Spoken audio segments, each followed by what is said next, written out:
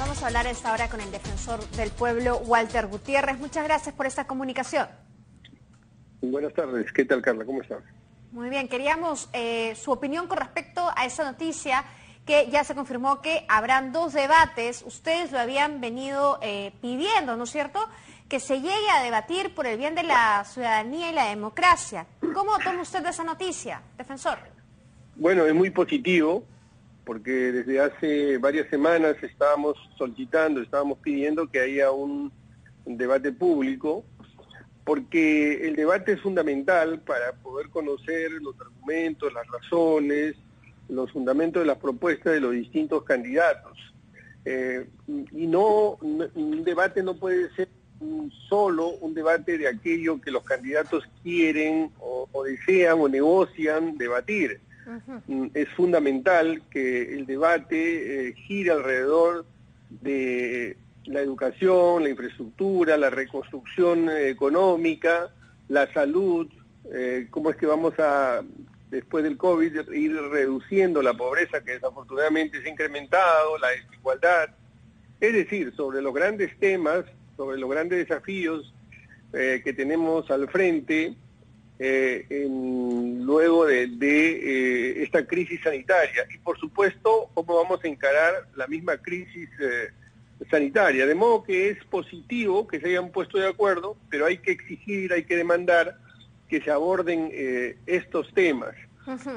Más propuestas, digamos, en vez de puyazos. Más propuestas que insultos, más propuestas que, digamos,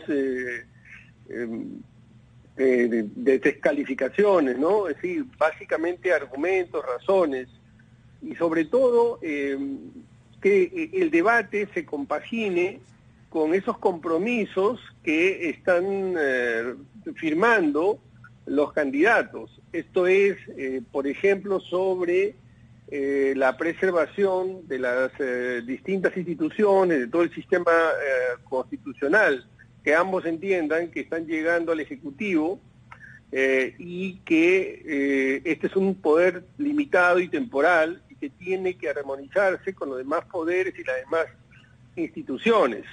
Que entiendan, por ejemplo, que en materia de derechos humanos no hay vuelta atrás, no hay regresión. Este es un principio en el sistema universal. Los derechos humanos, el estadio en el que se ha llegado, no puede retrocederse en un, en un país que se respete también la, constitución y el procedimiento para reformarla. Todos estos temas, todos estos compromisos que eh, a menudo en otras ocasiones los políticos han eh, declarado de la boca para afuera, no han tenido empacho en firmar y luego simplemente los han desoído, los han desatendido. Ahora que lo planteen en el debate, porque no hay que olvidar que cerca del 75% de la población no votó por ellos y por lo tanto ese 75% de la población necesita razones, argumentos, fundamentos y efectivos compromisos sobre lo que se va a hacer y cómo es que se va a respetar la Constitución y la institucionalidad en el país. Bueno, desde ese punto de vista se esperaba, el Jurado Nacional de Elecciones había pedido realizar cuatro debates, pero se ha llegado solamente a acuerdo a tener dos debates. ¿Van a ser suficientes estos dos debates después de todos estos temas que tendrían que tratar? Bueno, sin duda hubiera sido deseable que hubiesen habido más debates. Ahora eh, creo que por razones de tiempo solamente van a haber dos debates. Lo que hay que decir es que el debate público, el, el debate protagonizado, liderado por los políticos, tiene que ser permanente Hace dos años y medio, tres años, nosotros sacamos un documento que se llamaba, se llama El valor del diálogo, donde dábamos cuenta de la importancia de los acercamientos de distintas posiciones para poder llegar, llegar a encuentros. Los últimos cinco años nos hemos pasado que en una lucha, en una disputa permanente entre el legislativo y el ejecutivo, y han desoído, desatendido un principio básico en el sistema constitucional que es el principio de cooperación entre poderes, cooperación para poder materializar los servicios públicos, los derechos, y no es la disputa, la lucha por el poder.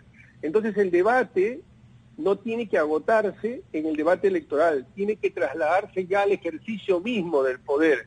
el debate para que eh, se encuentren puntos de encuentro para que se sometan al escrutinio ciudadano respecto de lo que van a hacer.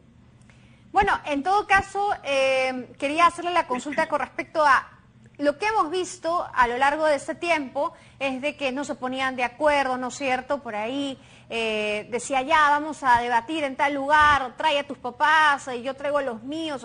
como que un poco se caricaturizaba eh, la figura del debate. ¿Usted cree que debería ponerse este debate más que nada ya como normativa?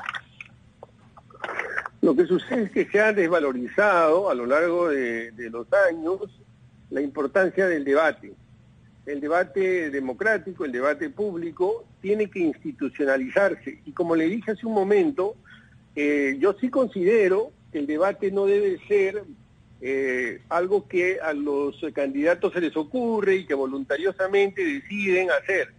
Este es un derecho que tienen los ciudadanos a conocer eh, puntual, muy claramente, cuáles son las razones, los por argumentos. Eso debería ser normado. sí, por eso es que creo que eh, el debate, de hecho, está normado, pero lo que sucede es que no hay ninguna, este, eh, a ver, sanción, mm. claro, para que finalmente se realice o no.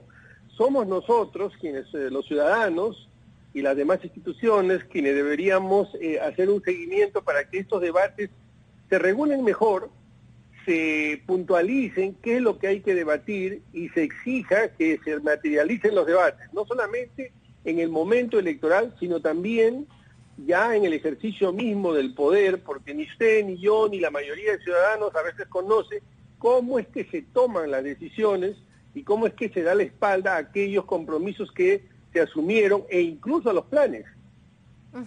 Exacto. Quería también hacerle la consulta con respecto a eh, Pedro Castillo, el candidato em, que en un momento dijo que había que desactivar, ¿no es cierto?, la Defensoría del Pueblo y ahora ha acudido a ella ante estas amenazas de muerte por parte del eh, ex candidato Rafael López Aliaga. ¿Cómo se analiza esta situación? Bueno, el día de ayer, en efecto, el candidato Castillo se hizo presente en la Defensoría, hizo un pedido y nosotros atentos a ese pedido hemos trasladado el mismo a la prefectura porque es la institución que tiene las competencias para las garantías personales que él eh, ha solicitado. Eh, él había adjuntado a esta solicitud el formato que se presenta a la prefectura, pero él no lo había presentado, de modo que nosotros lo hemos presentado y le vamos a hacer un seguimiento a este procedimiento. Eh, creo que hay que recordar que eh, el señor Castillo, en su condición de candidato, tiene protección, seguridad las 24 horas eh, del día.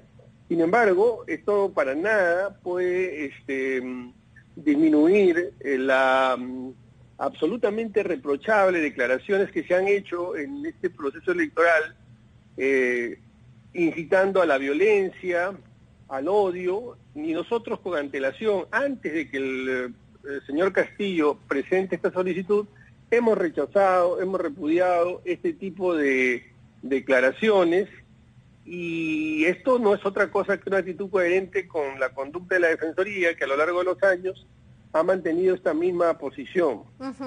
Pero eh, en, algún momento Pedro Castillo dijo que debería ser desactivada la Defensoría del Pueblo.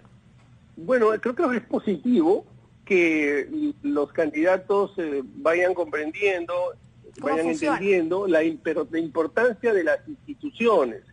la presidencia de la República, el, Ejecutivo, es un poder del Estado. No, es, uno no accede a todo el Estado, a todo el poder.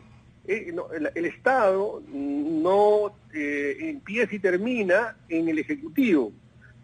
Por eso es que cuando se llega al Ejecutivo no se llega para desmontar instituciones, para debilitarlas, para someterlas se llega para realizar las tareas, las responsabilidades propias del Ejecutivo en coordinación con el Congreso eh, y bajo el control y el contrapeso de las demás instituciones como la Contraloría, la Defensoría del Pueblo, el Tribunal Constitucional. Estas son instituciones que sirven de contrapeso también, son contrapoderes. El poder no es absoluto, es temporal y es limitado. Eso es lo que tienen que entender todos los candidatos.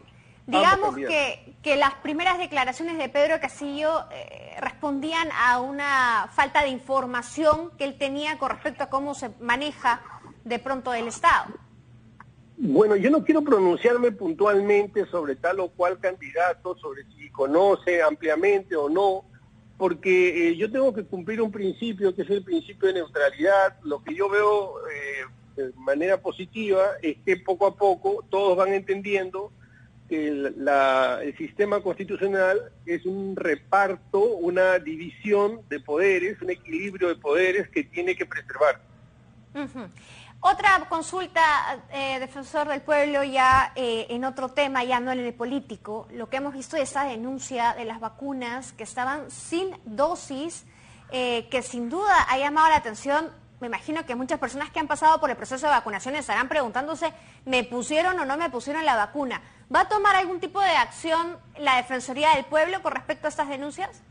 Sí, tal como lo he señalado en otras declaraciones, la Defensoría del Pueblo va, está haciendo ya una supervisión de todo el proceso de, vacunación, un monitoreo, y en este caso puntual también queremos eh, eh, saber o que, conocer, esclarecer sobre si este es un tema este, aislado como aparentemente sería, eh, y o si se extiende a otras situaciones. lo propio tendrían que hacer la Fiscalía y la Contraloría, porque estos hechos, estos hechos es que no son errores, es que son sumamente graves y pudieran constituir no solamente faltas administrativas, sino delitos. Bien, entonces están atentos ante esa situación. Así es. Muchas gracias, defensor. Gracias por esta comunicación. Agradecemos mucho su, eh, esta eh, conversación.